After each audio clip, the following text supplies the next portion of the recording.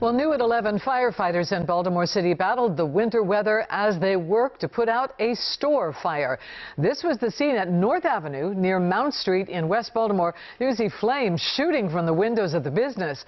We are told that the flames caused part of the roof to collapse, but the good news is no one was hurt.